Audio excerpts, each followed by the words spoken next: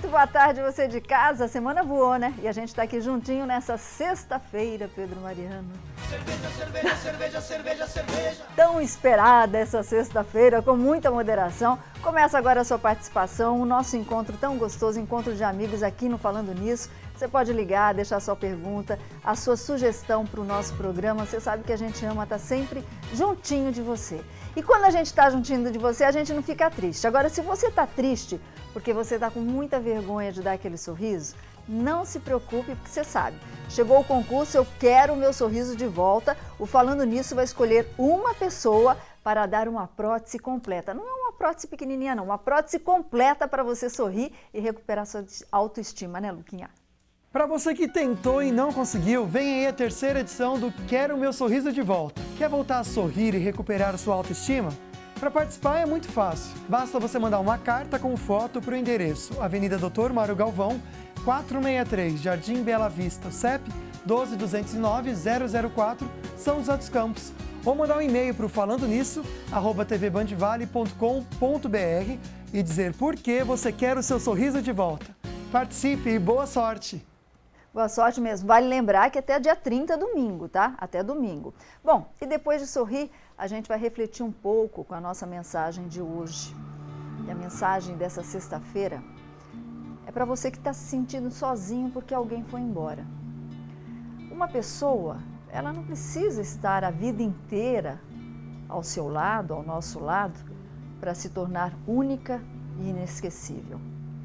Por isso mesmo é que a gente aprende que a vida apesar de muitas vezes ser bruta, ser dura com a gente, ela é meio mágica.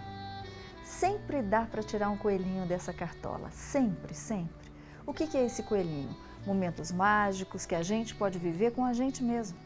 A gente fazendo a diferença para a gente mesmo, a gente provocando a diferença na gente mesmo. E muita gente, quando fala em provocar mudanças, o que pega mais é a questão do coração, dos relacionamentos principalmente quando tem a ver com traição. Você sabe quais os sinais da traição? Você sabe se está sendo traído ou não? Você perdoaria uma traição? Bom, a gente trouxe ela aqui especialmente para falar com você de São Paulo. Ela que está mais uma vez com a gente aqui, a nossa querida, querida amada, a detetive Ângela, né? Mas daqui a pouquinho a gente vai mostrar ela, porque agora o Luquinha que vai falar para a gente sobre traição, né, Luquinha?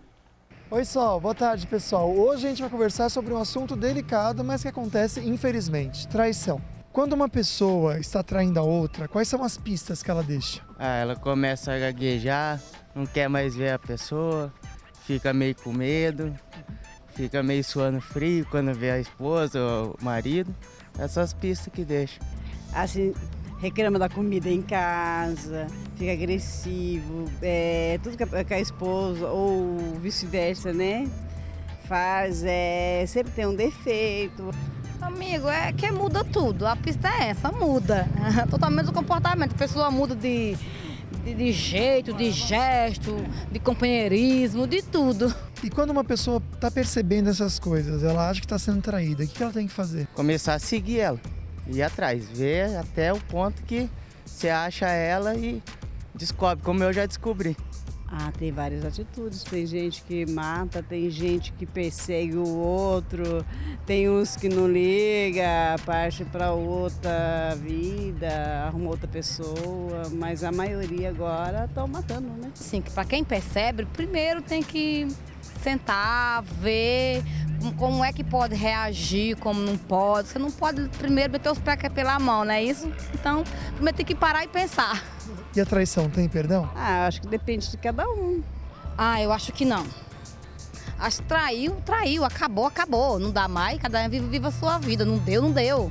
Ninguém, né? Não. Acho que perdão não tem, não. Quem trai a primeira vez, trai várias vezes. Não, não tem. Eu fui casa, eu fui noivo, separei. Por causa que eu peguei traindo com meu amigo, um amigo meu de faculdade, então... E o que, que você fez? Ah, apenas falei pra ela, devolvi a aliança, falei, curte com ele, porque pra mim não dá mais. E pra mim, não, eu vejo ela na rua, nem olho mais na cara dela, nem não converso mais. Não... Bora conversar isso com a Solange mais? E com você, só? É, Luquinha, que situação desse nosso amigo, né? Pegou a traição, foi atrás e realmente descobriu. Agora, você iria atrás? Você sabe quais os sinais de uma traição? Como eu falei, ela está aqui com a gente, a detetive Ângela, querida Ângela. querida, a primeira detetive mulher do Brasil. Olha, né? mais uma vez estou aqui, estou muito contente porque você é uma pessoa maravilhosa. Não, a gente e ama. sou sua fã, Eu viu? também. E a Ângela vai lançar um livro, a gente já estava combinando, assim, quando você lançar o livro, para vir aqui no Fala Claro, você né? é o primeiro lugar que eu venho aqui. Vamos sim, ela, a gente já fez uma bagunça gostosa no Antes da Uma com o Beto, com toda a turma do Antes da Uma, agora ela está aqui para atender você. Se você não quiser se identificar, não tem problema, que a gente sabe que é um assunto muito delicado. Angela, minha primeira pergunta, a gente viu aí nas, nas perguntas que o Lucas fez para o pessoal da rua, que tem gente que fala assim, você tem que ir atrás. A pessoa ir atrás pode atrapalhar muitas vezes? Não, é, Solange, veja bem, a pessoa ir atrás, psicologicamente, não tem estrutura para isso. Porque acontece com você, entendeu? Então, como você vai atrás de alguém se você não tem, porque dói muito. O, o certo seria contratar alguém, Uhum. entendeu? Agora, se você tem estrutura, você vai, mas é difícil. Por é isso que muito- acontecem muitos crimes, por É, exemplo? porque a pessoa não tem estrutura psicológica, entendeu? Aham. Então vai aquela fúria, aquela vontade de matar, porque o primeiro instinto que você tem quando você é traído é uma dor tão grande que você quer destruir aquela pessoa que está fazendo isso com você. Aham. Isso é normal. é. Mesmo uma pessoa que não seja eh, psicopata faz isso no impulso. Entendi, Ah, Pode é acontecer um perigoso. crime, sim, verdadeiramente. Olha o toque, às vezes você nem é assassino, nem é lógico, né? Você nem tem esse, esse instinto, mas na raiva você pode acabar cometendo uma besteira. É o ao vivo, é isso, Pedrão? Ah, caiu a ligação? A gente retoma então essa ligação. Agora, quais os sinais? A gente fala muito dos sinais que o homem está traindo, né? Quais os sinais que a mulher está traindo? Olha, Solange, a mulher, ela muda completamente o comportamento dela de normal. Porque a mulher que tem alguém fora de casa, ela fica mais entusiasta, ela se arruma mais, e o marido pensa que é por causa dele. Então, de tarde, ela vai, diz que vai na ginástica, vai no dentista e vai se encontrar com o namorado. E quando ela volta em casa, ela está toda fresquinha, feliz, toda, toda- feliz, sorrindo, e o marido boa, né? é pele boa. Falou, nossa, fui fazer massagem, vou ver meu personal, tudo isso. E não é nada disso, porque ela está feliz. Porque, às vezes, o marido tem um pouquinho de culpa. Porque quando ele chega em casa, a mulher espera com a jantinha pronta, com a comidinha. O marido é bruto, almoça sozinho, janta sozinho. Então, ela procura aquele agrado. Então, encontra alguém fora que faz isso, pronto, ela pronta. Mas ela trai por amor ou por necessidade só? Eu acho que junto. Os dois? Junto. A, a mulher, ela não se entrega só por dizer que é sexo. Ela procura algo mais. Ela procura afeto, companhia. Às vezes não rola nem sexo. Só o fato do cara falar, você tá bonita hoje, olha, você, tá, você mudou o cabelo, nossa, você emagreceu, olha, você tá mais gorda, não come mais. Então ela fica envaidecida. O ego dela vai lá em cima. E o marido não sabe disso. Ele muitas vezes deixa pra lá. né? Esquece, Pois esquece. é. Bom, daqui a pouquinho a gente vai ver se você está com sinais aí de uma traição, o que, que você pode fazer aí, ou para recuperar, ou para terminar de vez esse relacionamento. Ângela continua aqui com a gente e a gente faz uma paradinha agora para conferir as notícias da redação.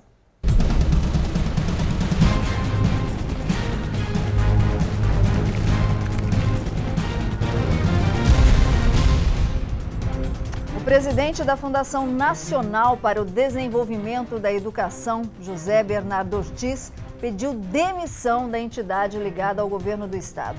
Ortiz é alvo de denúncia de improbidade administrativa pelo Ministério Público de São Paulo. Veja só, a reportagem de Sandro Barbosa. O esquema, de acordo com o Ministério Público de São Paulo, funcionava dentro da Fundação para o Desenvolvimento da Educação, a FDE, que é ligada à Secretaria da Educação de São Paulo.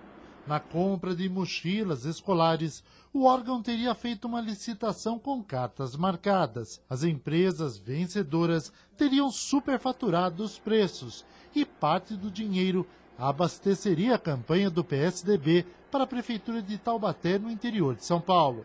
Esse valor supostamente está sendo usado nesse momento na campanha dele, o senhor Ortiz Júnior, Ortiz Júnior, na campanha eleitoral em Taubaté. A FDE era presidida por José Bernardo Ortiz, que lhe pediu afastamento do cargo. Ele é pai do candidato a prefeito de Taubaté, José Bernardo Ortiz Monteiro Júnior.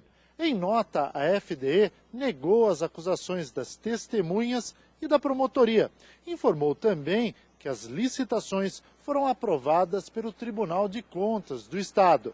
Já o candidato Ortiz Júnior afirma que as denúncias são mentirosas e têm caráter eleitoral.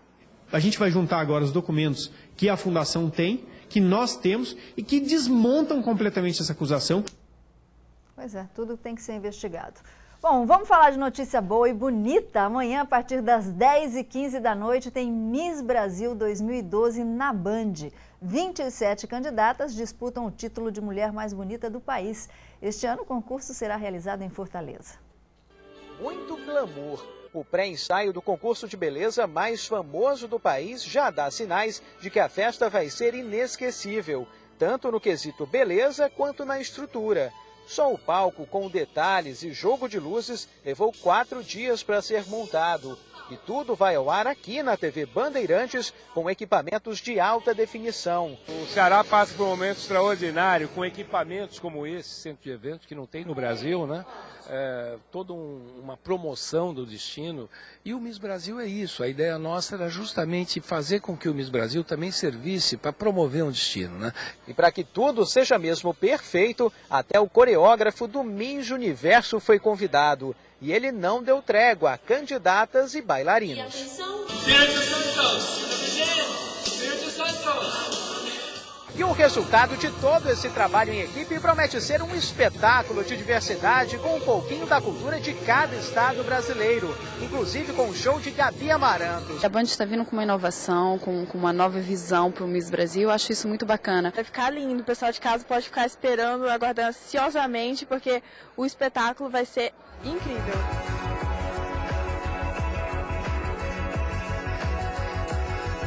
Imperdível Miss Brasil só aqui na tela da Band. Bom, vamos fazer uma paradinha. Detetive Ângela continua aqui com a gente. Você está sendo vítima de traição, ela pode dar umas dicas para você. Vamos mandar beijo e não se esqueça que sexta-feira ele está aqui, muito mais com o Abel Freitas. A gente vai saber os babados aí da região. Não sei por que você se foi, quantas saudades eu senti e de tristeza. Quero mandar um beijo é, para minha família, para minha mãe, é, os meus irmãos, pro meu pai que está no sul, né? Viveu, morreu na minha história, chego a ter medo do futuro.